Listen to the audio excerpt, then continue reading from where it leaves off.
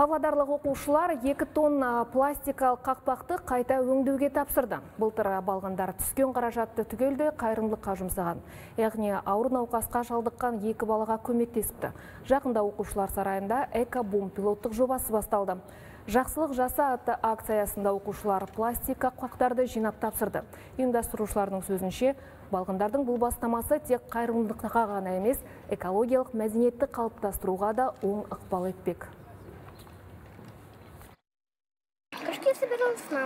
Мен пластик қақпақтарды анаммен жинадым. Оның барлығын қайта өңдеуге тапсырып, мұқтаж жандарға көмектестім. Ең бастысы пластикалық қақпақ таза болуы керек. такая экологическая привычка. қазір өңір тұрғындарында осындай экологиялық әдет қалыптасқан көп адамдар қақпақтарды қоқыс жәшігіне тастамай балаларына береді ал олар бізге әкеледі біз қақпақтарды ашық жүрек қайырымдылық қорымен бірлесе қайта өңдеу кәсіпорнына тапсырамыз